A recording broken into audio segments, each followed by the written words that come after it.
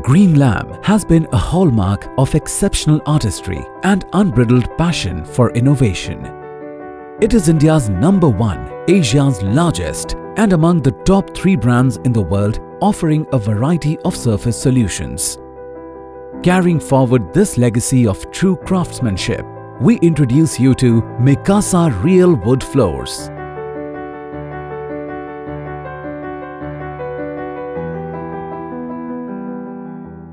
The first and only engineered wooden flooring brand in the country to be manufactured in India. Ethically sourced varied wood species from across the world, we keep the natural feel of the wood untouched. We offer warranties up to 30 years. Hence our promise for you to grow up to wood.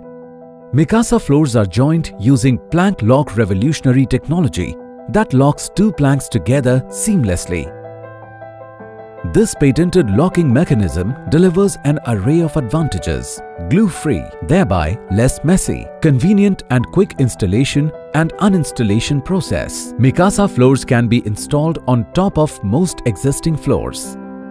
The installation of our floors is easy. Begin with proper planning. These floors are meant for dry indoor spaces and not for wet rooms such as bathrooms, laundry rooms and outdoors. Read the instruction manual carefully and use the installation checklist as a guideline. The next step is to check the moisture content of the installation site's environment using a moisture meter where the relative humidity should be between 45 to 60%. The moisture content of the subfloor should not be more than 4%. Then check the evenness of the floor with the level meter. The subfloor should be without any concrete lumps or debris. The acceptable differences within 8 feet is plus minus 3 mm and for 4 feet is plus minus 2 mm. For every 10 inch width of the subfloor, it is plus minus 1 mm. Usually, while planning installation, we begin installing the floors from left to right alongside the length of the room and in case of narrow corridors, lengthwise along the walls. If there is an existing wooden or laminate floor, install it in cross direction or use ply as underlay if needed in the same direction. It is essential to install a moisture barrier underlay when installing Mikasa floors on concrete, sand or cemented base. For other surfaces, you can refer to the table as to the material to be used for underlay. We recommend using only Mikasa Protect for underlay as it is the perfect combination of PE film and underlay which not only acts as a moisture and sound barrier but a suitable intermediate layer. Wherever you notice a fixed equipment, leave necessary distance for better adjustment later. Now begins the next stage which is the preparation for the installation. The first thing is the assembly of correct tools. You will need safety goggles, heavy gloves, knee guard, dust mask, a hole saw, screws, drill machine, a tape, a pull bar, a tapping block, spacers,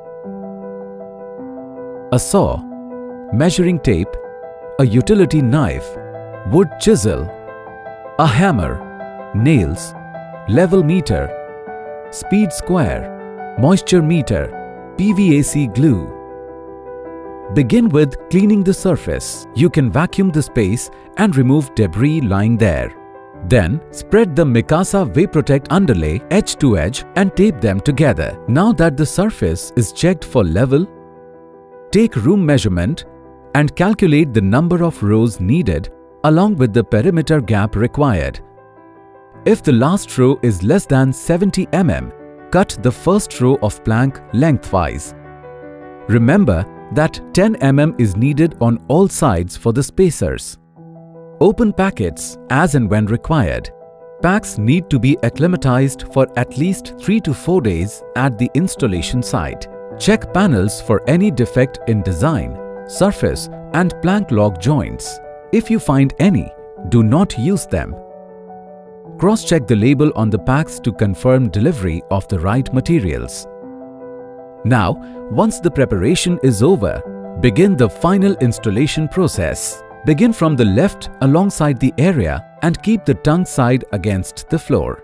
Wood will expand or contract during its lifetime, hence provide for expansion gaps via spacers. Place spacers between the tongue and the wall. The first plank's end tongue strip to be cut off to leave enough space for perimeter gap. Fit the next plank at an angle against the first and continue with the same.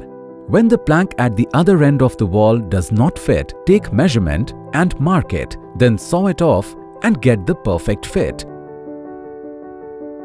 With the other piece of the cut plank, you can begin the second row.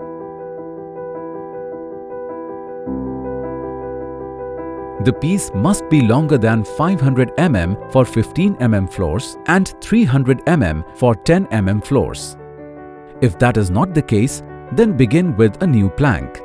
Keep in mind that the minimum distance between joints must be as mentioned and not similar to the second. Use the tapping block with every plank to push it into a perfect fit. Now repeat the same for every row. Once the installation is complete, remove the spacers.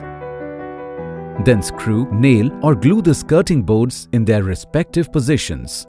Install all the profiles in their relevant areas.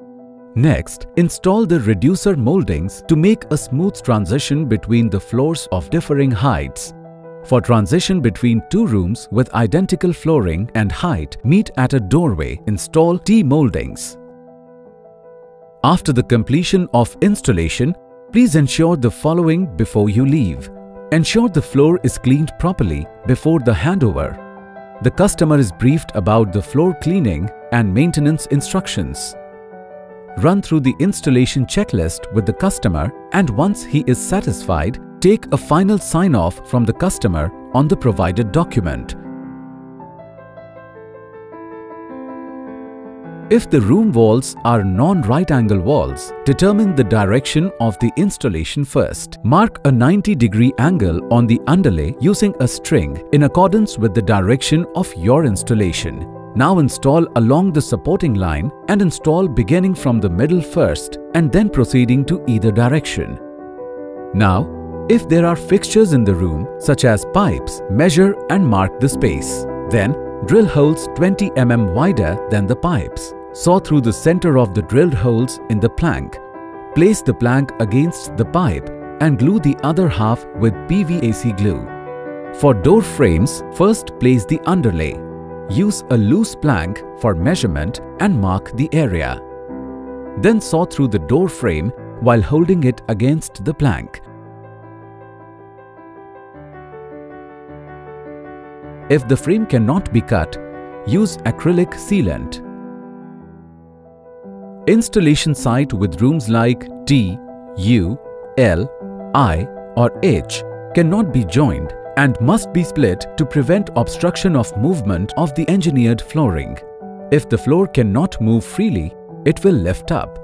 The split point must leave an expansion gap and be covered with T-profile. To know more, log on to www.mikasafloors.com.